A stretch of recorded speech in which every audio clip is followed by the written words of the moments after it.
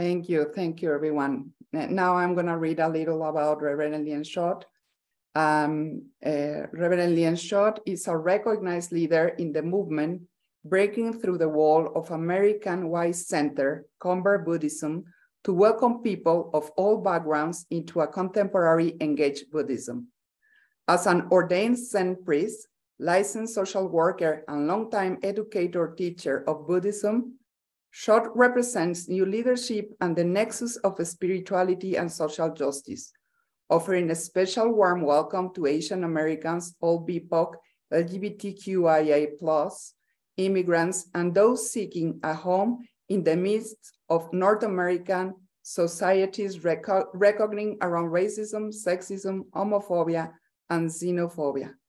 Reverend Lien will introduce us to the Engage Four Noble Truths, a reframing of foundational Buddhist teachings the, that actively addresses the urgent causes of today and offers anti-racist practi practices uh, applicable to our everyday lives. For those who are new to Buddhism and for those who wish to deepen their practice, her book, Home is Here, shows how we may attend to ourselves in the face of racism and oppression and invite us all to return to our individual and collective wholeness. Thank you so much, Reverend Lien. And please, uh, the, the floor is yours and we will be here. All right, thank you very much, Adriana and Annie, Annie, for the invitation to be here. Uh, I also want to thank um, gosh, so many degrees of connection. Um, one of my students, uh, I'm on uh, Graton Rancheria land or Southern Pomo land, um, north of San Francisco Bay Area in Petaluma. My pronouns are she and they. And uh, I run uh, Access to Zen uh, and teach in uh, various sanghas. Um, and one of my students, Ellen, had a friend who moved from here to DC and became uh, one a student of Annie's. And then when I was gonna was in DC, gosh, in September, I can't even remember now. Uh, just before you went off to Plum Village, so we uh, we couldn't do an in-person event. Uh, so I want to thank uh, uh, Al Alan also and Gail, your student, and then also my student UN, who really helped coordinate everything. Um, and then, of course, to you all for, for being here. Um, I would like to start out with a short meditation. Uh, so, uh, this is from the book. Uh, so, the book is Home is Here Practicing Anti Racism with the Engage Eightfold Path. And uh, yeah, let's begin with a very short meditation. Um, here we go. And my tradition of Soto Zen, ring, ring the bell three times to start and once to end.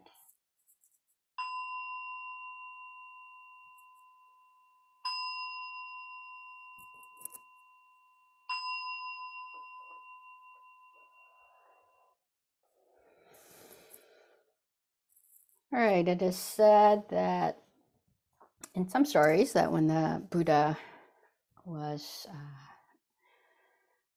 trying to achieve enlightenment, um, he remembered a time when he was young and as a prince uh, in the kingdom of Shakya, uh, his father took him, the king, took him to a spring plowing event. And in the afternoon, as it was a warm day, his attendants uh, him under a rose apple tree to rest in the shade. And so when he was struggling in those seven or 49, depending on the story that you are familiar with, to achieve enlightenment, um, he remembered sitting under that tree. So this is uh, meditation based on that. And I call it connecting to wholeness meditation. So, how do we connect to the sense of wholeness that he remembered as he was efforting for enlightenment? So we can try it on for ourselves. And so imagine yourself sitting under perhaps the rose apple tree or another tree of your childhood. And I'm saying sitting to go with the story, but of course, uh, the Buddha said you can um, meditate sitting, standing, walking, or lying down. So, whatever position you're in that is supportive to you to have a sense of clarity and settledness So, under a tree from your childhood, by a lake or an ocean, or perhaps in the lap of your grandma or grandfather or some favorite person. So you're just going to re- rest and relax into this place.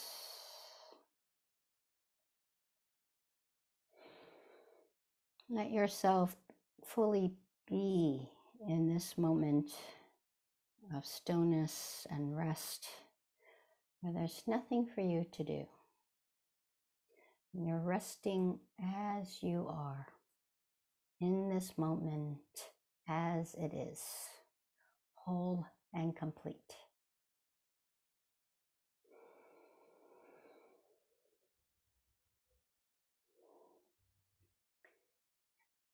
And as a way to focus on connecting to a feeling of wholeness, I want to encourage you to really connect to a very visceral spot in your body, your physical body, perhaps in the weight of your sitting bones, if you're in a chair or a cushion, or the back of the head if you're lying down, the feet if you're in a chair or walking or standing, or perhaps in the fullness of the belly if that's a area on the inhale.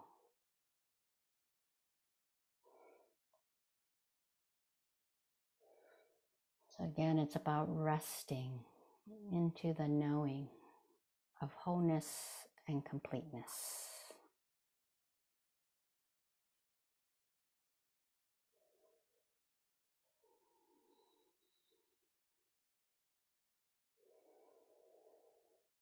And before I invite the bell, one time to end, just really have a sense again, if it supports you, it works for you to center it onto a body, which includes the breath, just somewhere that you can connect to at any point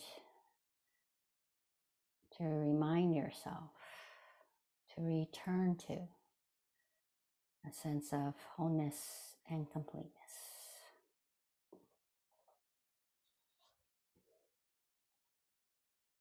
I'll be inviting the bell.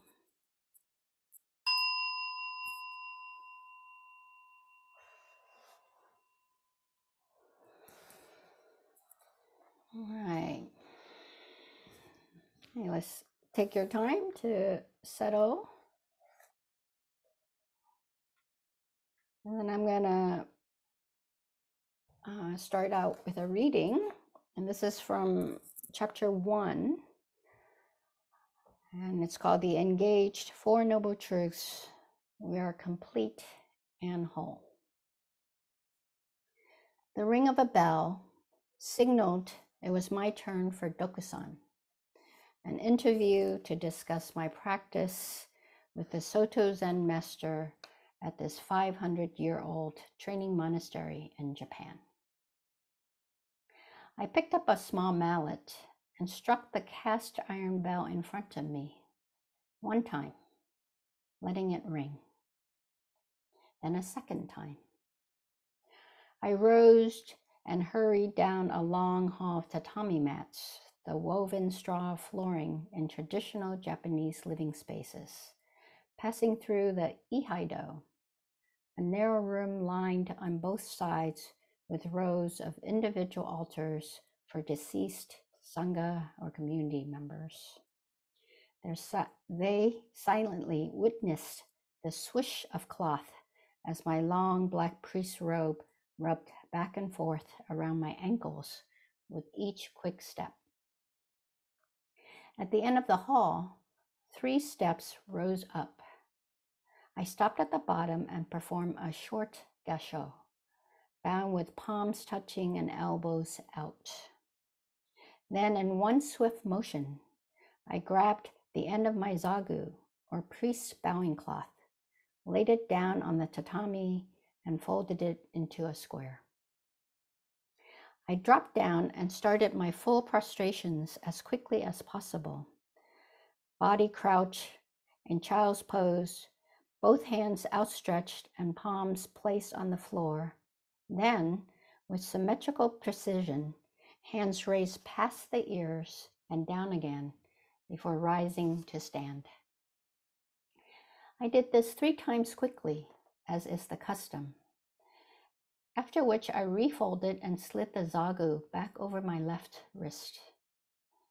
One more quick gassho, and then I headed up those three stairs to my dokusan with Sekkei Harada Roshi, the abbot of Hosshinji Monastery in Obama, Japan.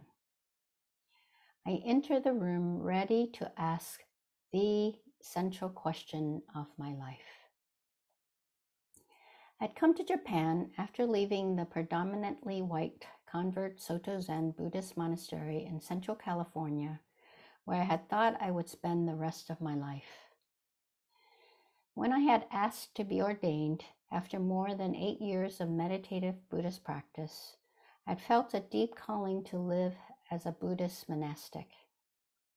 But this did not come to be. I left the California monastery after three and a half years there, heartbroken and confused about the racism I had experienced on both a personal and structural level. The persistent white supremacy culture of the monastery made it unsafe and did not support me as a Vietnamese American practitioner. This was true for many other people of color staying there as well. The experience was a huge shock to my understanding of Buddhism, Buddhist practice, and my sense of place in the world. As I made plans to leave that California monastery and figure out how to practice as a newly ordained priest, I was contacted by someone who studied under Sekkei Harada Roshi in Japan. They urged me to study with him as he was acknowledged as an enlightened Zen master. I had only practiced Soto Zen in predominantly white convert settings in the United States, and I felt drawn to practice in Japan, the birthplace of this sect of Buddhism. I've been at Hosshinji for three weeks, trying to process my despair from having to leave California due to the racism at my home monastery. There was another American at the monastery, a white woman.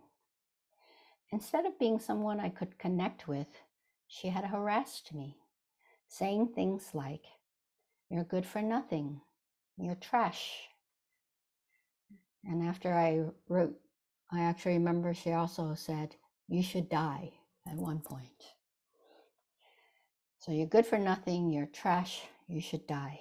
In his whispers, as we moved about the various ceremonies and tasks of the temple. I couldn't get away from her either. We were housed in the same nuns' quarters together. We had, we had come to Hosshinji around the same time, so we had similar seniority. And we were the same height, so we were often paired together for ceremonies. Her hateful whispers seemed to follow me all over the temple. The racism I had experienced in California had followed me all the way to Japan. Entering the room for Dokusan with Sekkei Harada Roshi, I barely sat down before blurting out the quintessential question of my existence up to that moment. Why does hatred seem to follow me wherever I go? I asked. Sekkei Harada didn't hesitate. No hatred completely. That's K N O W. No hatred completely, he answered. Then he grabbed the handbell to his right and rang it vigorously, signaling the end to my interview. I scrambled out of the room, doing the prostrations and bows in reverse order. My mind raced to make meaning of what had just happened. Nothing came. My mind had stopped. A koan in Zen practice is a story assigned by a teacher for you to work with.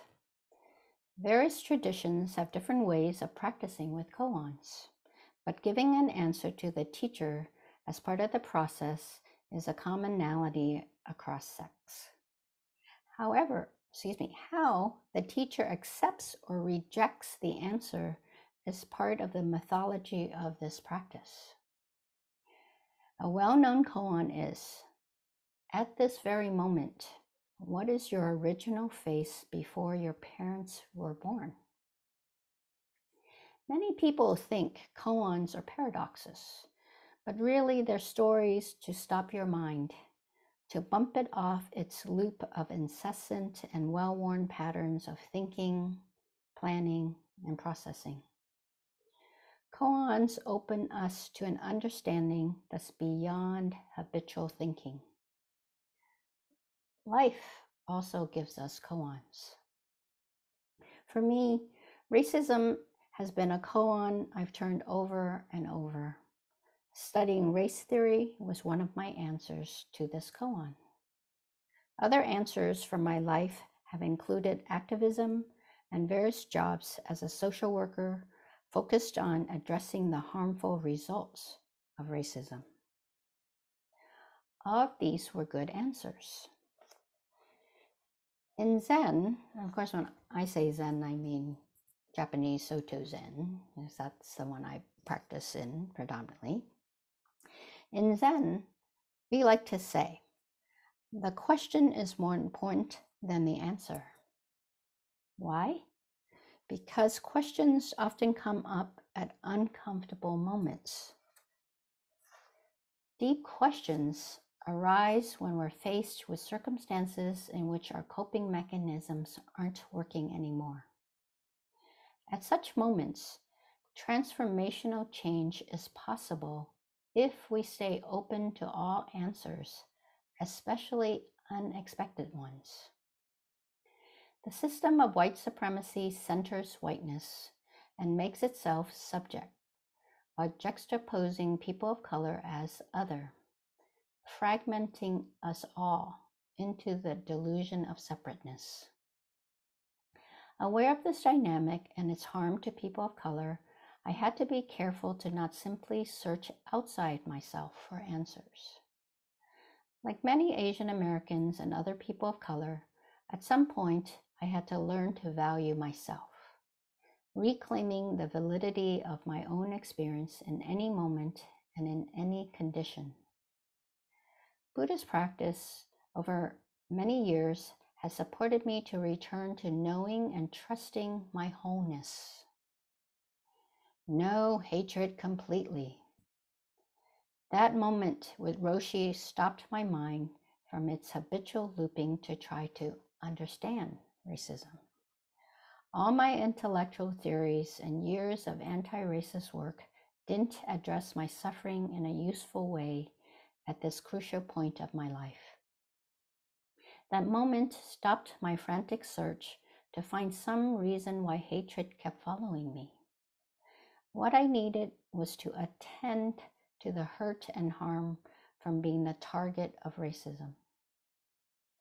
In Buddhism, we practice to be able to find settledness and clarity that's not dependent on the conditions of the world. To find such settledness and clarity, we have to attend to our suffering in body, heart, and mind. The koan of racism was not just something that I wanted to understand. What I really want, even now, is to heal from the hurt and pain I've carried.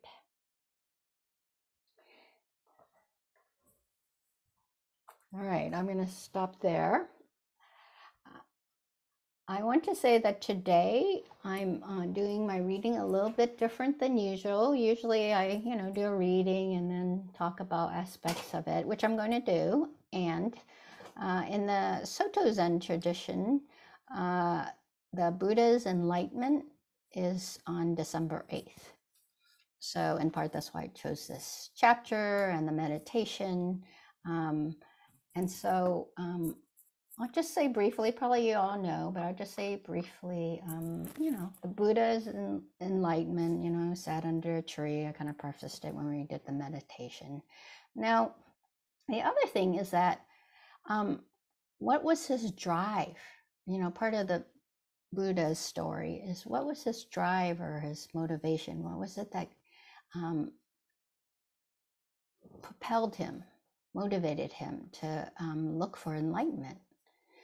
And so, of course, this uh, the famous story is that at his birth, um, which was a rather difficult one, as his mother died, um, but when he was born, uh, his father was the king, and uh, they brought in a fortune teller, as is part of the custom of the uh, culture at the time in India. And so the person had said, Well, your child will become a great ruler or a great spiritual person. And uh, since he was a prince and the king, as in probably many parents, I know my parents certainly, uh, you know, had an idea of what kind of person they want us to be. So, with such a prediction, uh, the king said, Well, I want him to be a great ruler, of course, to take over for me. So, he confined the Buddha to just the palace, palaces the grounds of the palace. And so he lived a very shelter life of learning all the things to be a great ruler and warrior. And lots of pleasure uh, was associated with that, of course. And then the story goes that at a certain point, uh, and the version I know, and I think they're different, um, is that he got curious though. And so he talked his carriage driver into um, taking uh, him outside the, the palace gates. And so um, this is, a, of course, part of the story of the four messengers or the four divine messengers. Um, and so he saw um, an old person, a sick person, and a corpse. And around all those, there was a lot of um, suffering that was exhibited by those individuals and by those around them. And so, and the fourth person he saw was a mendicant or an ascetic. And that person had a very settled composure. And he thought, oh, this is what, you know, I'm drawn towards. So he left his life of pleasures and privileges and um, went to go, you know, searching for the meaning in life. Now, the story of the Buddha's uh, life and enlightenment um, uh, is, to me, on the surface, really sounds very much like a personal story of a human looking for understanding life and how to work with our sufferings that we can't escape for sure, right? We all will uh, age, we all will experience sickness, and we all will die. Mm. And so I know, I personally, even though I was born in a Buddhist family, um, I, when I, after I was adopted and uh, was an adult, I came to meditation uh, to become a calmer person. I, I, probably, how many of you came to practice? Yeah, yep, that's, you know, I want to fix something about myself, be better. And I think, you know, it's very common and I think it's uh, noble of us for sure.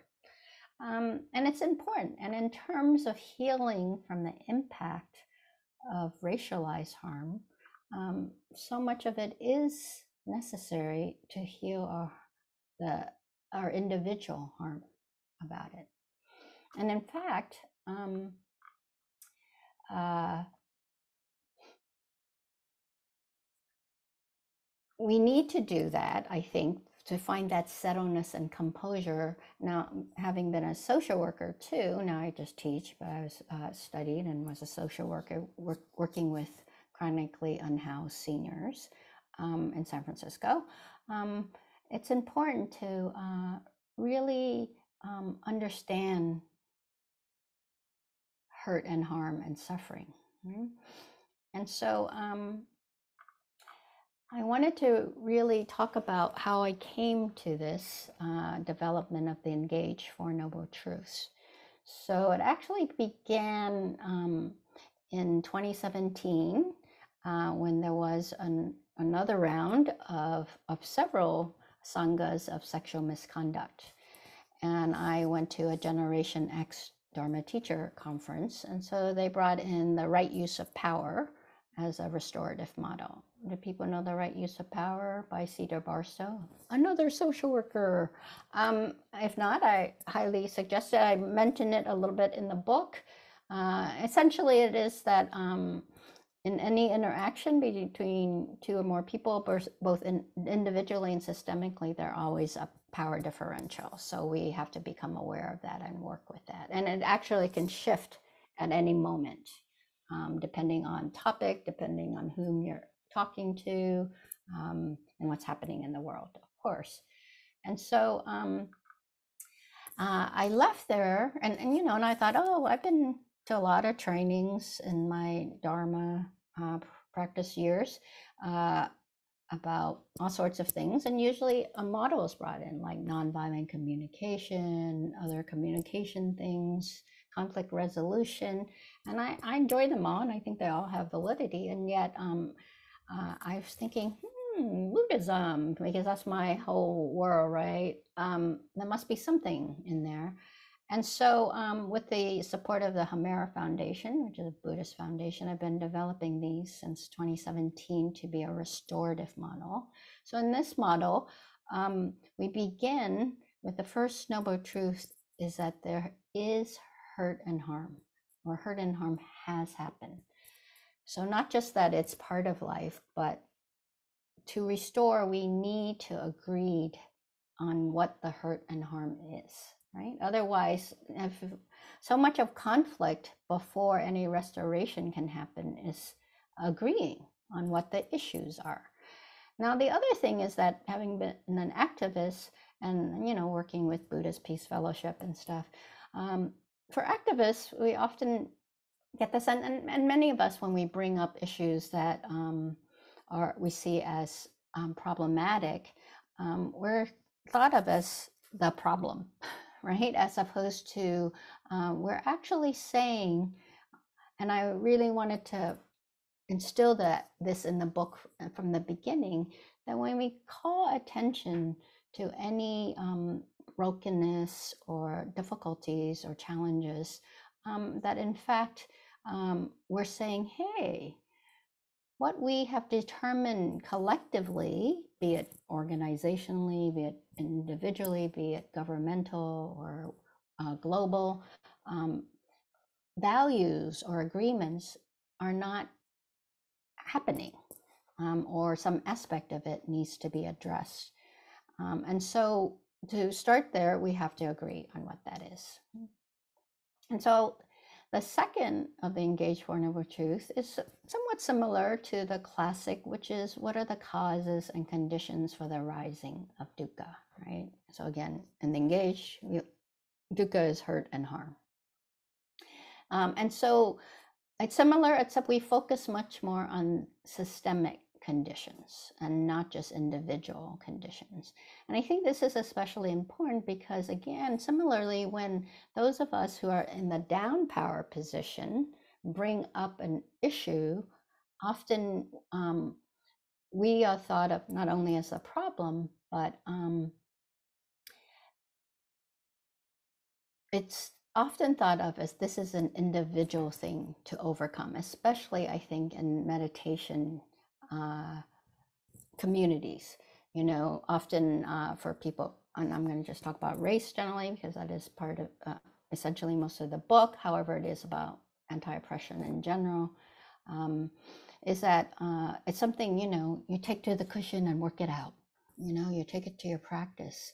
Or part of how something becomes traumatic, right? It's not just the incident itself, but how it is um, how it is held for a person, and then how is it attended to. So, in practice, we actually need to um, have the structural support of teachers, uh, Kalyana Mitras, uh, elders in the community who understand, say, like trauma or systems of oppression, so that it isn't just a individual, right, issue to work through. And because of inter- internalized oppression, we actually need to, as any of us in the down power, and again, I'll just frame it as race, given the topic tonight, um, is that we do need to attend to the impact of it. I think part of the harm of uh, white supremacy culture, and by the way, I, you know, I, I don't need my reviews, but um, my girlfriend does. and, uh, you know, somebody was like, oh, she says white supremacy culture all the time. And I do use that intentionally because it's a white supremacy culture is a culture and it is then framed as a, a, way of being that we're taught and a, part of our healing and part of our restorative be it individual or systemically is how do we not co- be part of that system not collude. It's not that we yes we can work to, to overcome it and end it but for instance like white supremacy culture i don't think it's going to end in my lifetime. And so it's not that we ignore it but we don't have to actively do certain things that we were taught as part of our locations in the system. So in racialization, basically we're taught this is your location, this is how you should behave, and this is how you should stay separate from each other, right? Or how you should interact when you do interact. And so that's, you know, like stereotype, implicit bias, all that. So um, we want to be really um, cognizant of that. So that's the the second noble truth, right? That there are actually systems of oppressions that locate us, that enforces, that um, punishes us if we don't maintain these imputed locations, right? And a lot of our practice is how do we um, know it, acknowledge it, and then um, work through it. All right, and then the third um, of course, the classic is that there's an end or alleviation of dukkha or suffering. And the engaged version uh, focus more on where where can we find agency, both individually and collectively, in the midst of harm. Right? Now, the third noble truth is the good news, right? The good news, like that's an end to suffering. So, where is it that um, we can know that we do have, that we're empowered, in fact, right, to connect to agency. Um, uh, one way that I frame in the book is how do we realize that our life is not a cage? Because I know as a person of color, as a lesbian, as a gender nonconforming, as an immigrant, as someone who is very, very poor in my early life, um, that often I feel like life is being done to me. And I think part of practice and part of healing and part of restoration is to not feel like life is a cage, but in fact, life is a container, right? That it's not just that life isn't suffering, all suffering, and that there's joy, right? The third noble truth, I could say. Or as you know, I, many years ago when I read um, Bell Hooks and uh, Women, Buddhist Women on the Edge, that book in 98, I think, uh, she wrote uh, one line just like went to me, like she dropped the mic, right? Was like, I am more than my pain. Because up to that point, I just felt the pain of my life. And so being aware that your life is more than pain, that it isn't just surviving, but in fact, it's your right, right, to thrive. That's, I think, is what the third noble truth is. And in fact, our practice is to learn to become more and more confident in the third noble truth. And so the fourth, of course, is the Eightfold Path. And uh, there are eight of them, and they're set up in three groupings. Uh, one is wisdom, uh, and so that's skillful view or understanding, which is the Four Noble Truths and karma. So in chapter one, we talk about the Four Noble Truths. Chapter two, we talk more about karma in the book. Uh, and then the second of the wisdom is uh, thinking, uh, skillful thinking.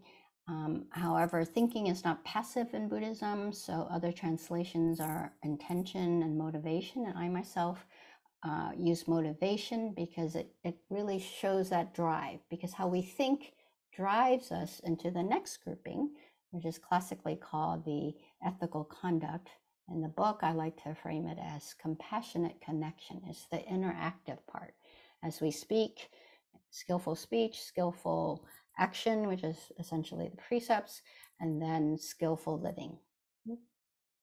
And then the third grouping is called a samadhi, or the meditative grouping, and a skillful effort, skillful mindfulness, and skillful concentration.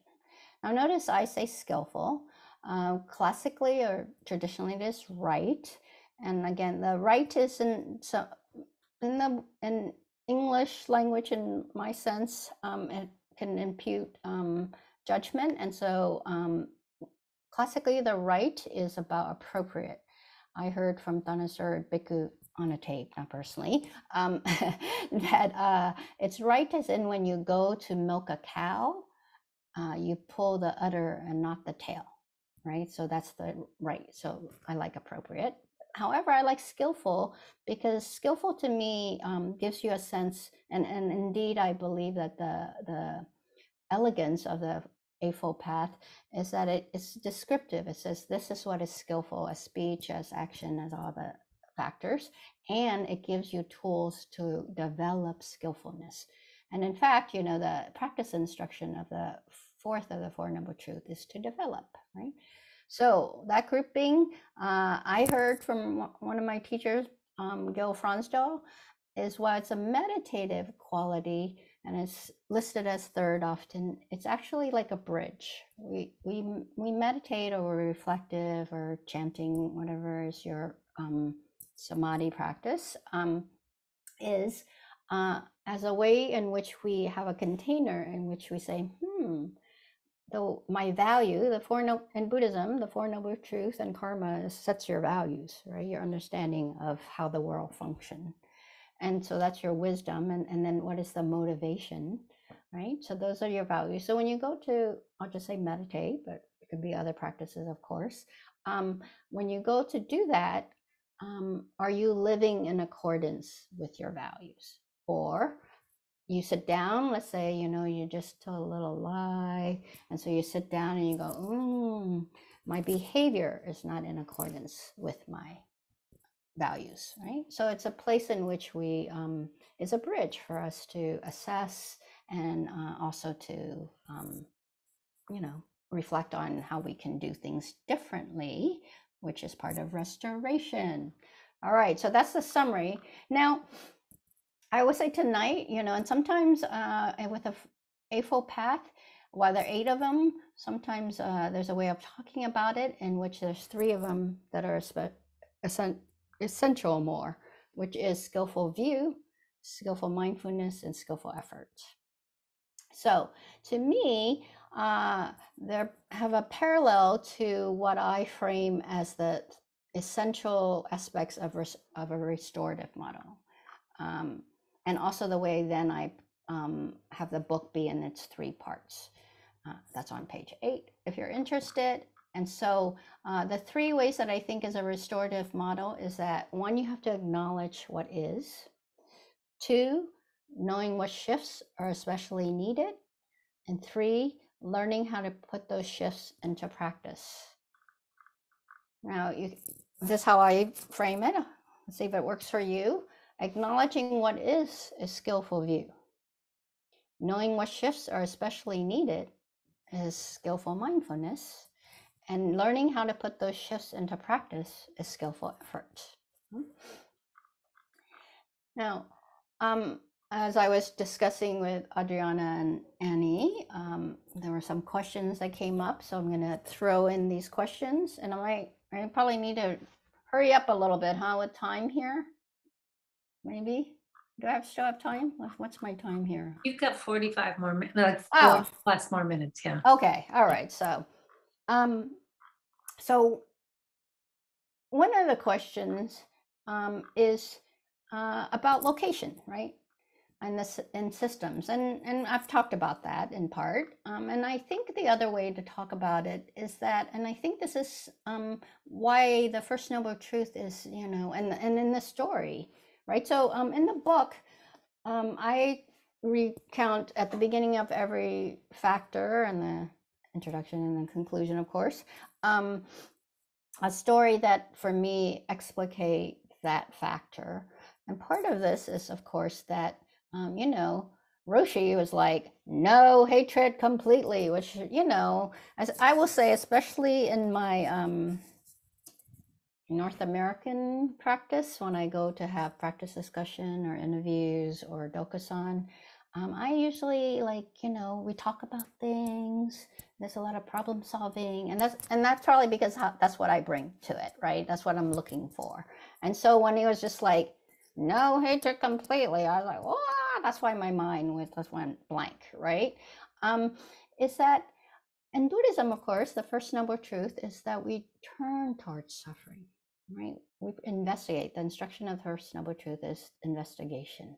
So we turn towards suffering. Of course, part of that is because we're conditioned to turn away from suffering. You walk down the street, you see something disturbing, like an unhoused person, or, you know, they, I know I can, uh, by this, I struggle with this too, right? Sometimes you're like, are they alive? Are they not? What should I do? People ask for money. Do I give? Do I not? Um, and so there oftentimes we're taught to uh, you know not not in not say it badly but just certain ways which we turn away and it's the same with with our own suffering and you know that's why we distract ourselves there's denial and so this is why the emphasis is to turn towards it now of course um, you know a, a story i have around race is i know one of the things um, when i first went to the monastery um, they were having another round of working with uh, racism. Uh, and so they had uh, some readings from Visions Incorporated, which are actually the people who, if anyone know East Bay Meditation Center, the communication agreements is from Visions Incorporated. And uh, I'll do a shout out to uh, Hilda Gutierrez Baldoquin, who was one of my mentors when I first started, and she was part of Vision, and she was the one working um, in that. And there's a story in there that really, um, in the in the te- in the readings for that, that really points out this to me, which is that often we're taught in racism that certain kinds of suffering are not the suffering we should be paying attention to, right? And so uh, the story is about how this young man, um, I remember him as eight. I, I don't know, I don't have access to anymore. Um, he was watching TV uh, with his father, and um, Martin Luther King Jr. had just been assassinated. And so he saw all these black people crying on the TV. And so he started crying, but he didn't really understand. So he turned to his father and said, What's going on? You know? And his father said, Oh, this is not something you need to worry about. So don't worry about it. And that was his story about how he was um, conditioned, right, to deal with race. And in fact, um, many white people or white identified people um, are taught not to talk about racism. People of color, we talk about racism all the time because we can't get away from it. Um, but in fact, many were taught that to talk about race, white people, to talk about race is to be racist. I know my parents are a lot older, uh, my adoptive parents, um, and they never talk about race to me because they were conditioned in that way, right? So the harm of white supremacy culture is that it teaches us certain ways of behaving that's supposed to be our location, right? And so I actually think that when we understand these ways of being taught, um, I know when I I understand that I was taught this, then I can unlearn it and relearn. And this is, I think, part of um, what we can practice. So, the instruction of the second noble truth is to abandon. And so, again, one way of th- thinking about abandoning is undoing and relearning. Mm. So, um, okay, and so part of our practice then and is to um, and I think in particular I wrote this book because um, this started out as a response, not as a book, because uh, in 2020. Uh, and when another round of anti-Asian violence arose in North America, um, a whole bunch of Asian American students who, both in my sangha and in the San Francisco Bay Area, area came to me and said, "Help." You know, and so we, um, I started a course called Lotus Rising from the Mud. I can never remember the subtitles of my courses. Uh, something like, you know, uh, oh, a restorative practice for Asian American. Um, and then with the murder of George Floyd, then we did the Dharma of being anti-racist, skillful engagement, something like that, um, for all locations. Because part of it is we, the, the Eightfold Path supports different ways, like so how do we learn speech? How did we, um, how can we relearn or recenter the way we um, talk, for example? Um, and then we also need to, um, the course is very much, uh, yes, on the Eightfold Path, and but its main point is to um, every other session we um, do processing in affinity groups. So we create a brave container for for each group to discuss things because there are nuances. And I know I did a workshop, half day workshop um, related to the book at Brooklyn Zen Center in early October, and um, I know afterward uh, many white folks um, were like, "Wow, this is great," because um, we don't get to talk about this, especially in Dharma centers, right? Um, there was actually really sweet. A black woman came, and um, she came because her uncle had recently died, and he practiced Buddhism. So she, at his deathbed, had said, um, "I'm going to go to a Buddhist center to, um, you know, to honor you." And um, during halfway through the workshop, she's like, I didn't know anything about Buddhism. Do you guys do this kind of work all the time? This is the, kind of things you guys do because I want more of this. And I was like, eh, no, this is not the way we do things. Or you, you know, a lot of Buddhists in there, we don't deal with this kind of stuff, right? So, um, having the container to really process the suffering that has impacted us all, right, with white supremacy culture, I think is really important. And this book is centered on um, Asian American, BIPOCs and Asian American in particular, because while I completely um, see and uh, believe in uh, and witness anti Blackness worldwide, um, to me, um, often race dialogue in the United States is often framed as a black and white issue and uh, those of us, the other people of color, um, are, are often not in that discussion so much. And um, yeah, especially around the Dharma. So um, it is uh, from an Asian American lens. And I will say it was a struggle, you know. Um, I wrote the book because students from both the um, two, two rounds each of Lotus and Dharma being anti racist um, wanted a more germane book, more contemporary, and one very specifically about race. Um, so I wrote it as accompanying that, and then as uh, I've been approached to write a book a while back, um, I send it out, and I actually send it to North Atlantic Books because they um, printed um, "Be the Refuge," also uh, one of the few addressing uh, Asian Americans, uh, Buddhists in North America. So um, and you know they picked it up which I was, i'm very happy about all right so part of it is learning to um, turn towards ourselves and our our, our suffering. Uh, you know i have a podcast called uh, opening dharma access listening to bipoc teachers. And a while back, I uh, interviewed um, Alexander, and we were talking about how so much of practice, especially, you know, we were talking about retreat in particular, and she was talking about um, going to the first BIPOC retreat at uh, Spirit Rock, how it's so great because um, she could reach the edges of her suffering and I felt held.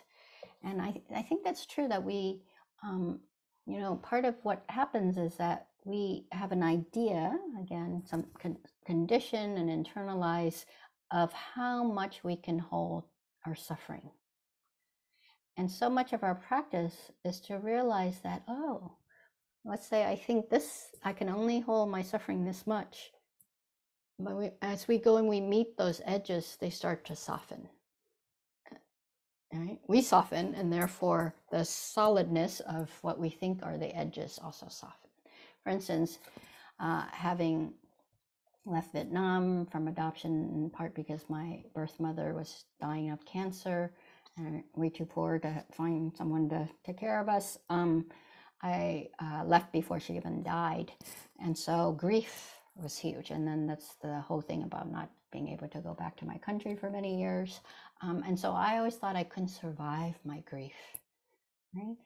And so once, however, I could meet my grief more and more, um, it actually the irony of practice uh, or, or, reaching those edges in my experience is that um, when we build a capacity which concentration i think helps a lot um, helps us to relax and so the, again those edges become wider and become less solid and so our sense of ourselves also expand mm-hmm.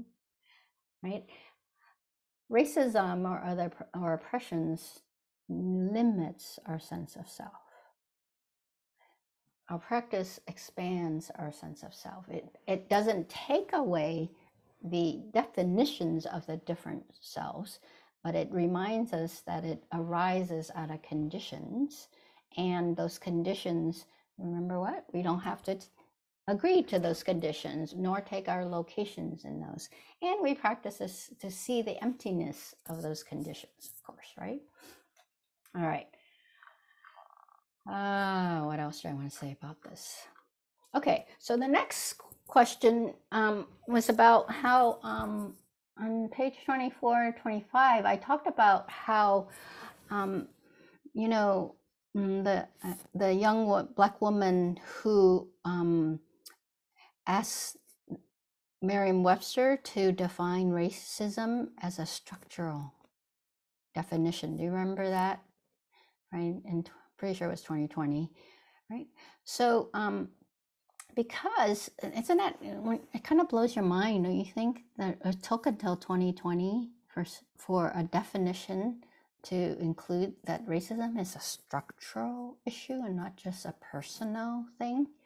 Um, and so true, it's not a, maybe a policy change, but of course, language reflects how we view the world, skillful view. And so it becomes skillful mindfulness to attend to.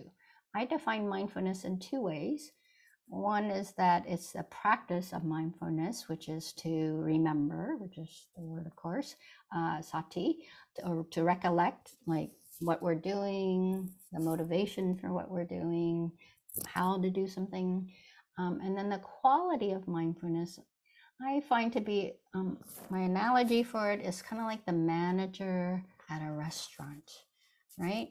Mindfulness um, is aware of what's going on, and it has, because of concentration, it gives you a sense of centeredness, and then it actually says, hey, you're practicing paying attention to your breath. You're not practicing listening to the dog barking outside the window and then going, oh, you know, why is my neighbor, right? Come on back. So it manages it, right? Um, it helps to, and then it does it when it's settled enough with concentration and you practice it, then it does it in a way. So the quality of how that's done is also important, right? So, um, so part of healing from white supremacy culture is, of course, to heal the impact on us. And uh, as BIPOCs, uh, we're often taught that our suffering is not important. Um, and so, or it's only important in, in our own communities or in certain contexts. And so we want to really, of course, attend to the personal impact. And uh, we want to see the systemic, or again, that's a second noble truth in the engaged version. So, one way to talk about that in the book um, that I framed, and really it came about when I gave a Dharma talk on the 50th anniversary of the March on Selma. And um, I was talking about our interconnectedness, uh, which comes from the uh, Avatamsaka Sutra, the net of Indra. Do people know the net of Indra or have heard of it? So usually it's talked about as um, or described as. So there's a net that's the universe, and um, at each place in which the strands cross, there's are nodes, and at each node there's a jewel. So it's a jewel of the net of Indras, right? So um, the nature of jewels is to reflect. And so as the jewels reflect around, we reflect each other, right? You and I reflect each other, we're interconnected in that way. And that's it's a beautiful image. Um, however, when I was giving that talk, I thought of that, of course, about interconnectedness. And then having been a social worker, um, I thought about the matrix of domination or the matrix of oppression by Patricia Hill Collins. So uh, pretty sure she used the word intersectionality, but I know it's given credence to um, Crenshaw.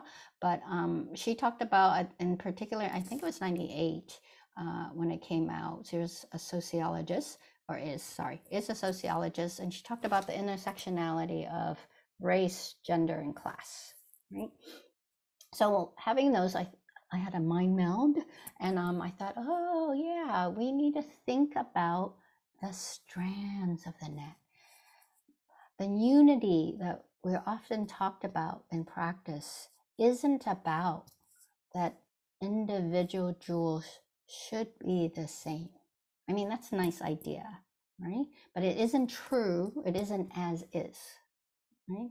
In the system of, say, again, racism or white supremacy culture, um, what is it that some jewels are bigger than others because they have more resources? So the strands are built more to give them more resources.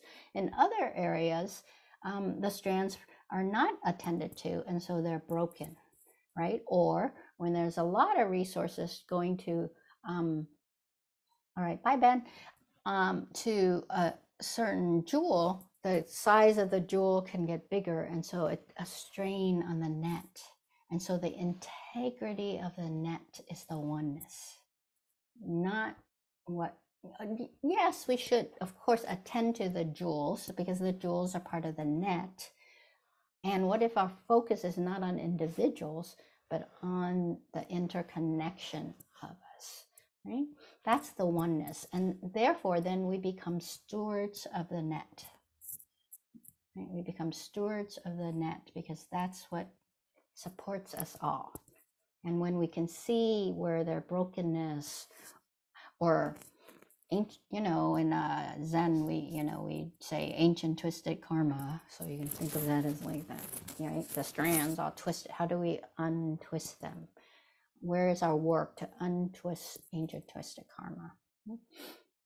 So we want to, um, to me, that gives it a sense of a systemic lens. What are the policies? What are the, be it uh, explicit or implicit, um, that keep certain conditions happening? And how do we work with that? Uh, similar or related to it, what other definition do you think are urgent to change in our language uh, to give context to people located in more privileged locations. Uh, to me, this takes us to learning how to put those shifts into practice, which is skillful effort. Right? I know that um, in many convert settings, um, DEIA, uh, or you know, it used to be called multiculturalism. Uh, now it's DIA. Uh, in convert Buddhist, uh, often there's a much more of, focus on how to bring in more Black people. And I think, again, completely understanding it. Um, and um, Buddhism came from Asia. And so there's a real sense, I know, in the Asian diaspora uh, community that it's almost like, hey, what about us? Which is part of the invisibilization and erasure of Asian Americans in the United States um, in particular. Um, and so um, I know I'm in a group and uh, there's a discussion about how, especially in Buddhist community, the, the term BIPOC, while we understand it as a United States or North American uh, framing and, and support it, um, it doesn't work so well in Buddhism because Buddhism came from India, right? And also, um, more and more teachers in convert settings are um, are being who are being uplifted are not Asian um, or not or predominantly Black, and so not Latinx, not Indigenous. Um, in some ways, to me, the the BIPOC, the the I of BIPOC is a little bit of a throw in. That's, that's my take. Um, and so um, we've discussed about like how do we perhaps need a different term. Um, I was trying on my, if you see my website, I have a group of uh, who started Lotus Rising them from the mud with me at Spirit Rock now almost two years ago. Um, we they've continued to practice with me, and I tried on AA plus, and then th- until I'm still using it, but some people are going, that sounds like you know Alcoholic Anonymous and and other things. So I was trying it on and I couldn't, you know, I thought Pan Asian too, but I somehow I, I, was still going at that. And then I, and then of course we learn from each other, like we're doing here. Um, and a student recently said to me, people of the global majority is a term. And I appreciate it because it's also, as she explained it to me, um, that it also decenters the United States, right? it doesn't place the view of who is whom from the uh, United States centric. So, people of the global majority might be a, a definition or a term. Uh, now, I was at a talk on the book at, in Santa Cruz at a bookstore uh, with Gil Fronsdal and um, one of my teachers, and um, someone asked, uh, oh, someone brought up that actually in uh, a Latinx person, I really appreciate that, is that um, in convert Buddhist settings um, has been that Buddhism in convert settings is how they put it um, has been an occupied territory. And occupy territory, right? And so, how do we address that, right? which goes to another question from Annie and Adriana, which is Do you think there's a reason for those who have the best seat at the venue to let the ones who are located in the last rows take their seats even for a short period or a specific show? I myself would say, not even for a short period, right? I think this is the thing in which is really difficult. You know, many many years ago, when um, Buddhist Peace Fellowship um, had a paper, remember the, the paper magazine called Turning Wheel, and they had a, a essay article about how a group of um, Black Buddhists and others had gone to um, all the slavery points in Africa, and there was a moment in which there was a ferry to go, and it was full and so a white person had moved aside so that a black person could get on that because it, you know, there was much more of a resonance for them. You know, uh, when I practice in um, Thailand, and, and I just blew my mind because it's not the way things are done in my experience in the United States. You know, um, when a bus is full um, and a monk comes walking up and needs to get somewhere, people willingly get off the bus, right? So that, now unfortunately, it didn't apply to nuns, Um, uh, but it was kind of changing a little bit, not so much to see, but nuns that just, uh, what year was that? 2002, I believe. Uh, nuns had just been also allowed to go free to the universities in Thailand. The monks had for many years. So, how is it that we uplift those who are traditionally um, not given the resources or the access. This is why my group is called Access to Zen. Mm. How do we make practice accessible? How do we um, uplift, right? That's what equity is. Equity is we realize that there's inequality, and so we need to uh, rectify that. We need to restore that by um, moving over uh, or restitution of some kind. I put that out.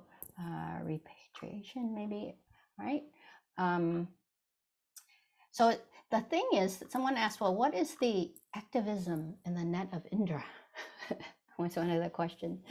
And uh, I said, well, engage Buddhism, you know, isn't just that we know that there's systemic harm. Eh, we have to do something about it. And it's the same with practice, right? Karma, to me, broadly, broadly, broadly, is the um, teaching on responsibility, right?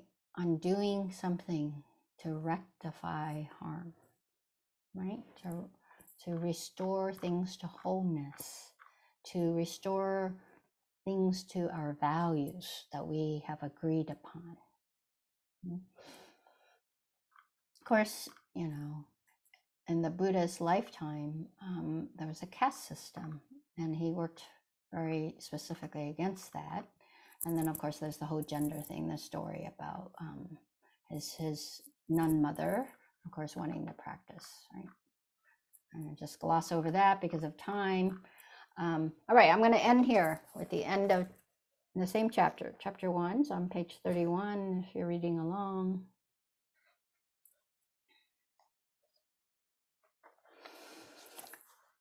The day after that mind stopping meeting in Japan, Sekkei Harada Roshi offered me another chance for a Dokusan interview.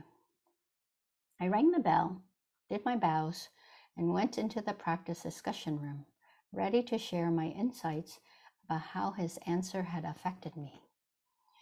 Before I could open my mouth, Roshi launched into a lengthy story of Shakyamuni Buddha's life and enlightenment along with the histories of other early Buddhist ancestors.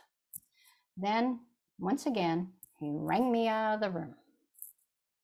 We never spoke about my question again. That the event impacted me deeply, and I continued to turn it over for many years afterward. When I remember my dokusans with Sekkei Harada Roshi, this last part has always puzzled me. I often wonder what was his point about it all. In writing this now, I have an understanding of what he was teaching me. The Buddha and ancestors were searching for the same things as you and me an end to suffering. I think Roshi was saying that there can't be spiritual bypass he realized, and after this that initial exchange, I too realized that I was looking for a way to explain away the hurt and pain by wanting to discuss it. Discussion isn't wrong. Theory isn't wrong. Activism isn't wrong. But we can't use these things for spiritual bypass. We can't use Buddhist practice or any methods such as race theory or activism as a way to skip over the human condition inherent in the First Noble Truth, experiencing the hurts and pains of our lives. Trying to get away from them via any method is to try to skip over or bypass fully exp- experiencing our life as it is. Our practice is to get closer and closer to know it completely, because in doing so, we can actually then have more clarity on how we can heal. In Pali, the first recorded language of Buddhism, the term Yoniso Manasikara is usually translated as wise attention. It can also be translated as attention that takes the whole into account. This is what Sekkei Harada Roshi was pointing me toward. The practice of investigating dukkha, which sees it in context, in totality, and not just the hurt and pain of the moment. Then the rest of the engaged Four Noble Truths offer us descriptions and practices for how to connect or reconnect to the wholeness of life, that our existence is seen, relevant, healable, and valued. When we remember and access the context that validates us and support us to thrive. Additionally, we need to remember that all beings want the same to be free from suffering and the causes of suffering. This is what connects us all. Denying that systems of oppression exist is to deny reality as it is. Learning to negotiate these systems with self and collective determined agency is the practice of engaged liberation. In practicing collective liberation, this is what I wish for us that we may come home to a sense of wholeness grounded in what is safe and of value to all. May we then aspire to spread that out, to work together to strengthen safety and care for each other. This is the work and the liberation of understanding, practicing, and developing the engaged Four Noble Truths. Thank you for your attention. All right, I have a little time for questions, and I want to encourage um, if you tend to move back, to move forward, and if you tend to move forward, to move back.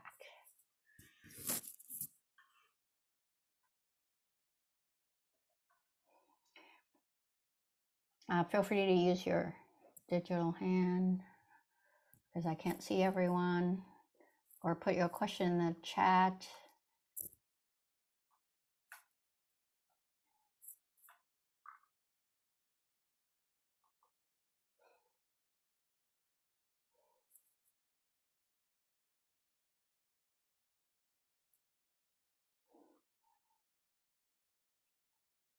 Okay, I explained it so well.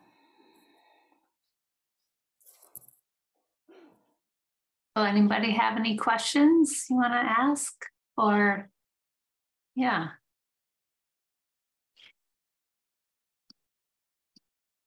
Wow. You did explain it well. All right, I'll take comments then.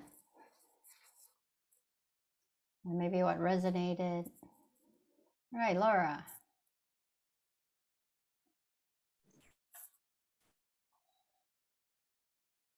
Sorry, I can't uh, come on screen right now, but Sure. just was um, wondering uh, how often you offer um, opportunities to study with you on, or in your Sangha on these topics.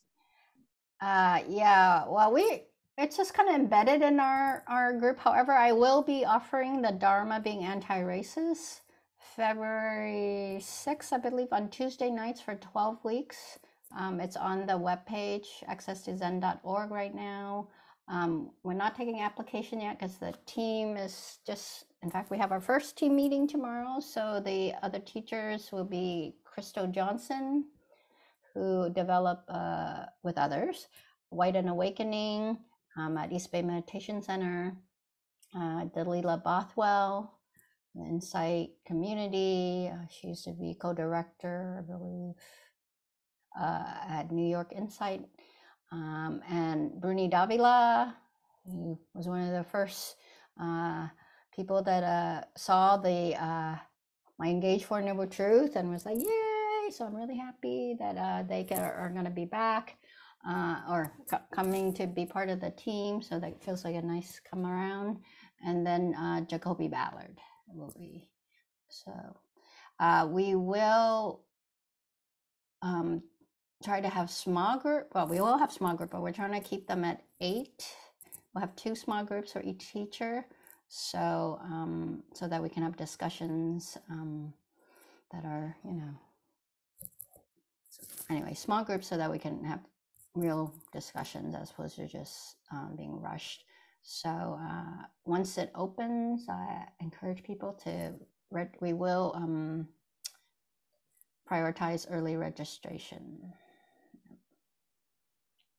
We also do ask that um, people take it as fully as possible um, because it is dependent upon uh, cohort. So you, you go into a cohort and you stay in the same cohort.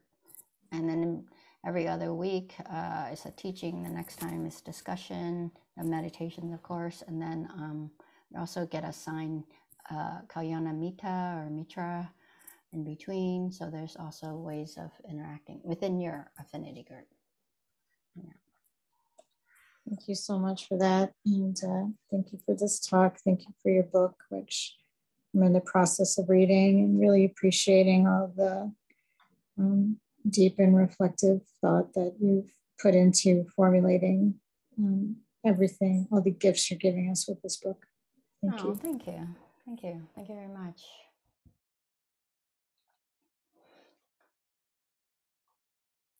Looks like La put something in the chat, question. Okay, I'm trying to find it. What would a dominant culture Sangha truly doing their anti racist work look like?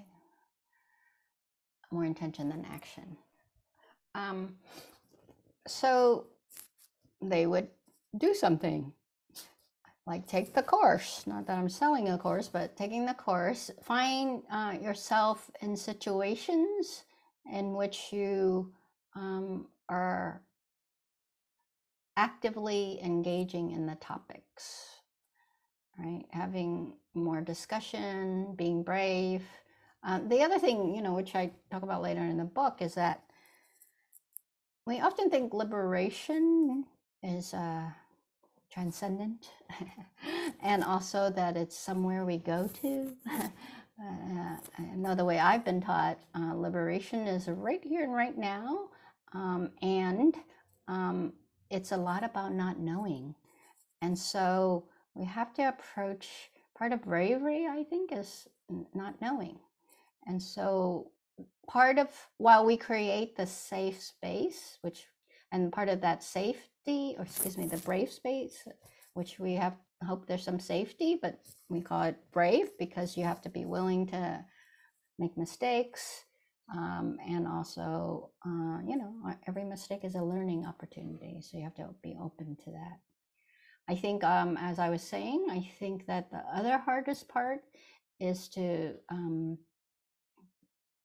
uh, actually promote um, inclusiveness, not only in the lower spectrum of the organization, but actually in, in uh, leadership like for a long time you know i, I mean i was part of the group that um at spirit i, I started on the spirit rock tradition and um a group that basically got the um, community dharma leadership program to start and um, also like that scholarships had to be transparent and you know for a long time i was like oh it's good that there's more that the people of color retreat happens, but you need more teachers. So it's a great thing when there was teacher training, and I, I see that they and, uh, and IMS and um, IMC Gil's Place, they're very intentionally doing that. I think making access to that is, is the key. Scholarships, monetary access. Uh, I think um, also um, access is not only monetary, but access is um, another way that I put that I started to develop, and I actually uh, wish I'd done more in the book is that the whole up and down power thing, right? Now the thing is that any of us in the down power position, uh, again, on let's say race, um, when we're in the position of uh, DEIA work, say, um, actually we have we actually need more support. Because one, we have vicarious trauma, and then we have to attend to ourselves as we speak for those who don't feel safe enough or, or make you know make it visible for those who, who are afraid to be visible in that. And so my wish is that organization would say oh i get that. So you need more time off. You need more time to be with other people of color. You need ways to process it and um, and um, not only give the time and effort but also um, of course, white people have to do their own work. And this is why, you know, White and Awakening, I, I know for a long time, uh, uh, uh, uh center that I associate with a lot, there's a, a little while back, but because um, they stopped asking because I was wanted me to have a people of color group. And I was like, nope, not going to do it till you have um, address white privilege and entitlement you know and I, I my experience is people do it to a certain extent and then they drop it when power shift is needed. So you got to give up power. You got to move over. And like I said, I don't want it to be just for a short period. And no tokenism. Seems like there's a bit of tokenism happening, right? So, um, and you know, and that, but that I don't, I think we, all of us need to, um, that's a part of honesty, you know? Honesty to say, ah, it's like this. And especially, and, and so much of our practice is to um, learn to be with uncomfortableness. And it's uncomfortable, you know, and then especially when we have um, section intersectionality of oppression. Sometimes this is why we do have to attend to the impact of whatever target or down power position that you've had because when that's more settled we have the space for to hear other people's and to include it. Yeah. And and so so much of our practice is actually expanding.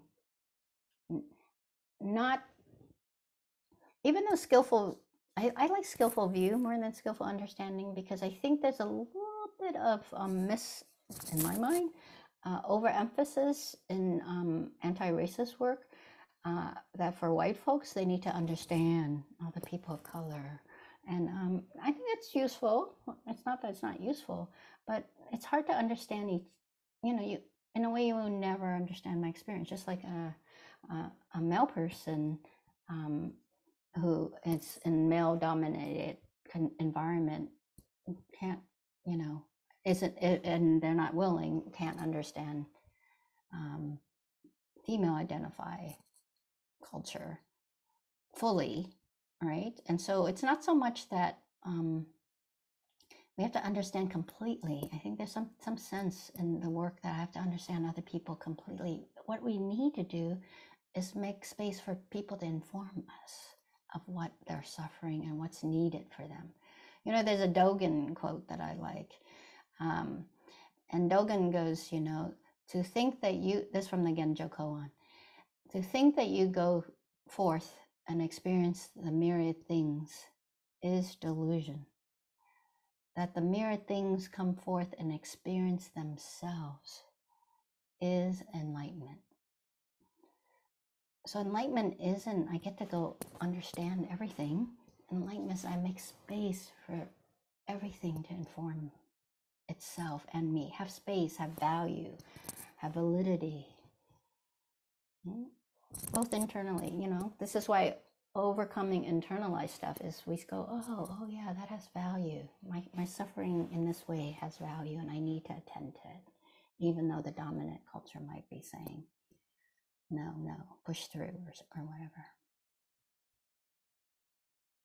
Oh, thank you. Thank you, Nancy. Yeah, you know, when I uh, first thought that, I was like, "Whoa, that works for me," because it seems so. It seems doable. You know, I think that's the other thing about anti-racist work. So many of us, like, ah. oh, it so feels overwhelming, and and it is overwhelming. So, so so the other thing I would say is community, of course, sangha, right, and and venues like this, right. I, I, um, by the way, I want to really say that um, when I had my discussion with Annie and Adriana about this, um, they were like, oh, it's making visible. So go ahead, whatever you need to make it visible. Um, and because so much of the book is about the erasure and invisibilization of Asian American.